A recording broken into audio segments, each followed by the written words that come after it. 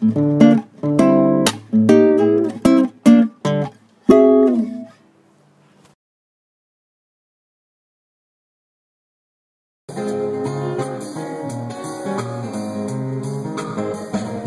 your eyes and I get you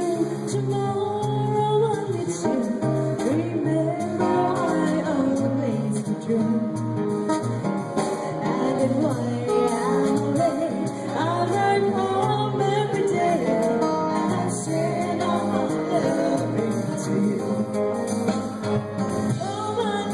live